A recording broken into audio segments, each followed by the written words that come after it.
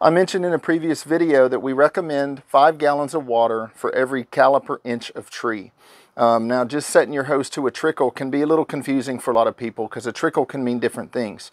So what we generally recommend is to install a bubbler zone on your trees, but that still doesn't always negate the need to use a hose to really do a deep watering. Um, trees in different locations may need different amounts of water. I'm going to show you today how you can use very inexpensive materials to build a bubbler for your tree. You can set it out there once a week, turn it on. If you forget to turn it off, it'll turn itself off. And you can do this once a week and really get a good deep watering on your tree. So here are the parts I'm using in this video to be able to build this. Um, I'm showing a an adapter. You can get this at any big box store. The hose goes here. It's got a half inch male thread on this side. I like to use a shrub riser and a coupling, um, and I'll explain why in a minute. A simple mechanical timer, um, they usually cost less than $20. And then this is a one gallon a minute, I can't really show that, but one gallon a minute uh, tree bubbler.